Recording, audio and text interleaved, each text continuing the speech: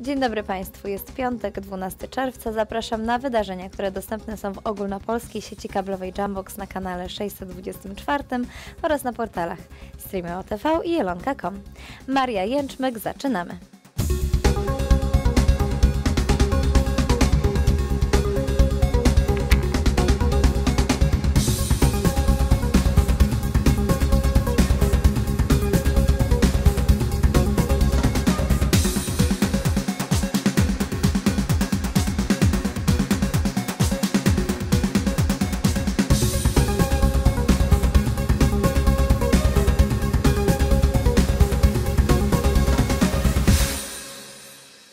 Staruszkowo. Podniebne ćwiczenia. Bubel za kilka milionów złotych. Święty Franciszek z Asyżu nazywał zwierzęta swoimi mniejszymi braćmi. Pani Krystyna używa określenia moje dziadeczki. To właśnie dla nich stworzyła pensjonat dla starych i schorowanych psów, który nazywa się Staruszkowo. To jest Pepe, kurde. Hulta jakich mało, kurde. Małe to, kurde, niewidome, a chuligan, kurde, pierwszej wody, kurde. Rządzi cał, całą chałupą. Staruszkowo. To tutaj porzucone, stare i schorowane psy z całej Polski odnalazły dom i spokojne życie. Dzięki troskliwej opiece odzyskują spokój po traumatycznych przejściach z przeszłości. Bo każdy z pensjonariuszy Staruszkowa to osobna, bolesna historia. Historia, która w jednym z dawnych pensjonatów w Karpaczu odnajduje swoje szczęśliwe zakończenie. Staruszkowo. Jesteśmy po prostu starsi, zużyci, schorowani.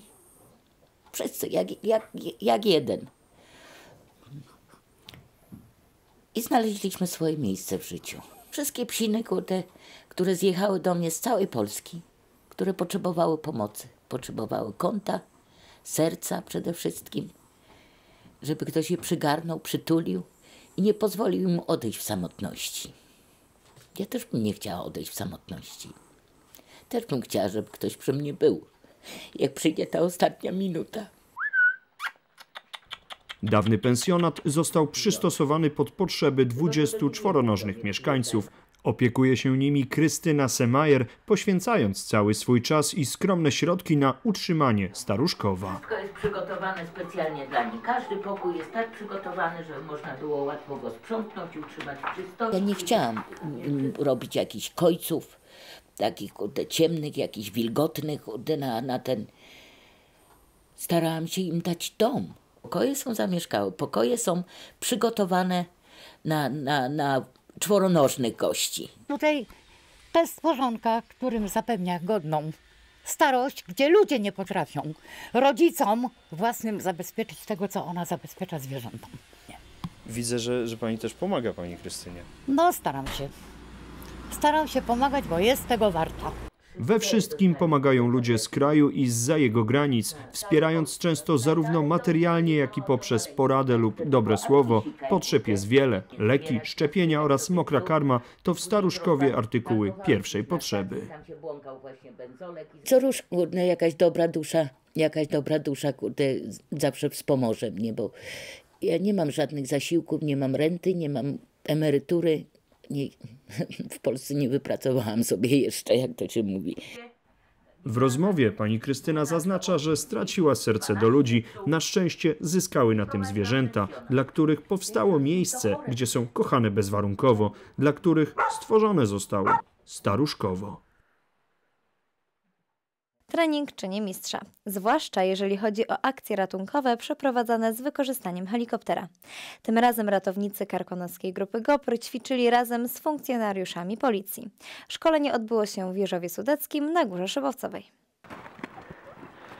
Każdą akcję ratowniczą w górach można przeprowadzić bez użycia helikoptera, jednak tam, gdzie każda sekunda jest przeliczana na ludzkie życie, wsparcie z powietrza jest nieodzowne, liczą się doświadczenie i wyćwiczone procedury.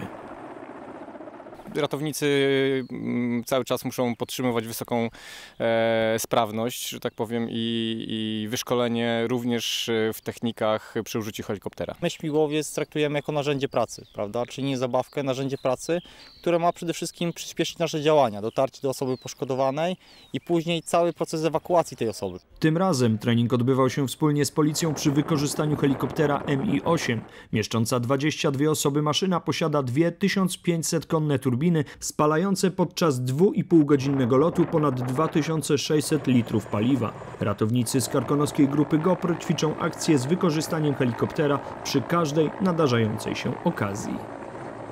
Nie posiadamy swojego heliko- helikoptera, ale dzięki porozumieniom, które mamy, y, współpracujemy z takimi jednostkami jak policja. y, Bardzo intensywnie współpracujemy z LPR-em, Lotniczym Pogotowiem Ratunkowym.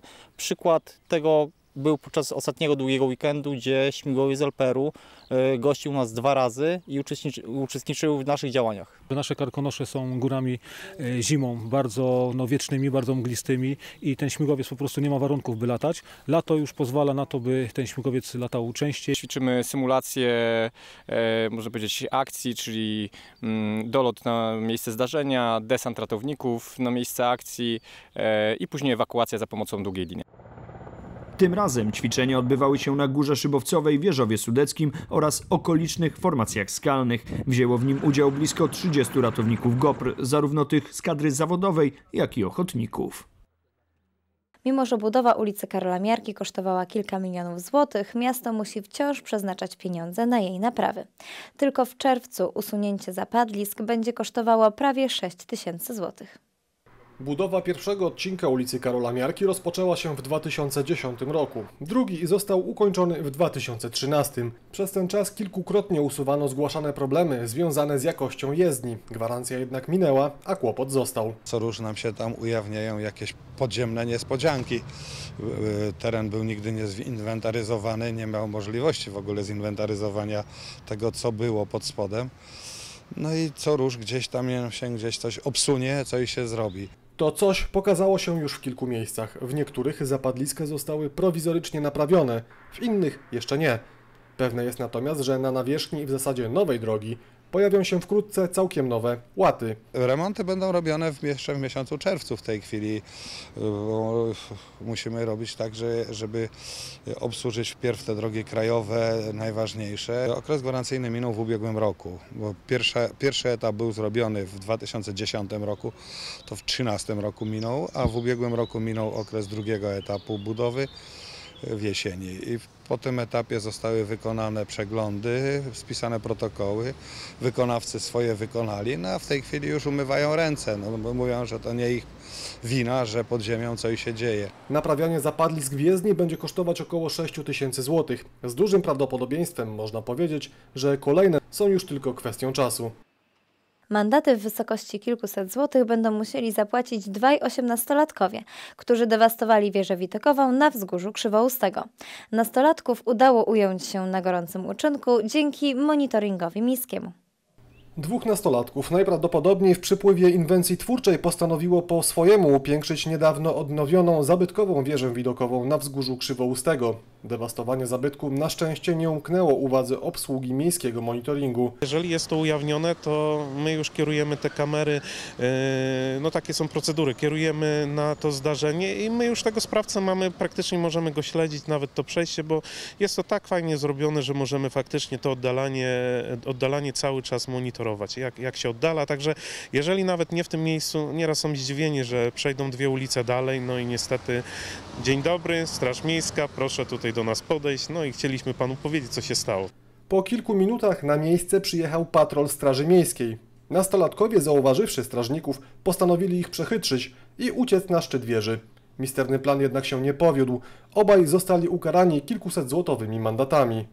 Stowarzyszenie Ducha Gór promujące w Karpaczu lokalny produkt i twórców prawdopodobnie będzie musiało zmienić swoją siedzibę. Stało się tak za sprawą uchwały Rady Miasta, w myśl której wynajem nie zostanie przedłużony. Powód? Radni mają inny pomysł na wykorzystanie wynajmowanego przez stowarzyszenie lokalu. Brak przedłużenia dzierżawy wymusza na stowarzyszeniu zmianę lokalu, który zajmuje ono od trzech lat, prowadząc w nim również informację turystyczną. Radni planują przekazanie organizacji innych pomieszczeń. Nie rozumiemy tej decyzji, dlatego że od trzech lat y, działamy nie tylko na rzecz regionu, ale również Karpacza. E, Przede wszystkim Karpacza, będąc tutaj w tym miejscu, e, ściągając tutaj ludzi, e, wprowadzając pewną no, inną, myślę, trochę jakość. Nie upieramy się konkretnie y, tutaj, tutaj i tylko tutaj. A y, z, lokalną y, grupą działania wygląda, że tylko tutaj nigdzie więcej. To ta, y, tak, takie stawianie problemu jest po prostu nie do przyjęcia. Pomysły na ten lokal troszeczkę są niektórych radnych inne, prawda? Widzimy to troszeczkę w innej koncepcji.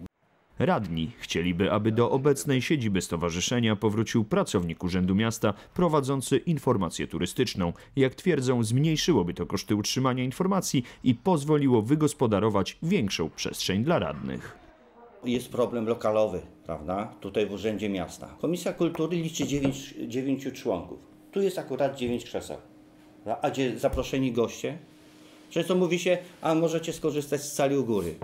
Liczenie głosów, śluby, masę szkoleń, etc. Czy to są, y, czy to są warunki do pracy? Przenosiny w inne miejsce, no na pewno byłoby y, cofnięciem się. Na pewno trudno znaleźć jest takie drugie miejsce. Miejsce, które łączy funkcję informacji turystycznej oraz promocji lokalnych twórców i ich produktów. Stowarzyszenie chce pozostać w swojej siedzibie. Czas najmu mija jednak wraz z końcem czerwca. Co będzie dalej? Radni proponują inny lokal. Pytanie, czy jest to najlepsze rozwiązanie dla mieszkańców miasta i turystów. To już wszystko, co przygotowaliśmy dla Państwa w dzisiejszych wydarzeniach. Dziękuję za uwagę i życzę miłego weekendu.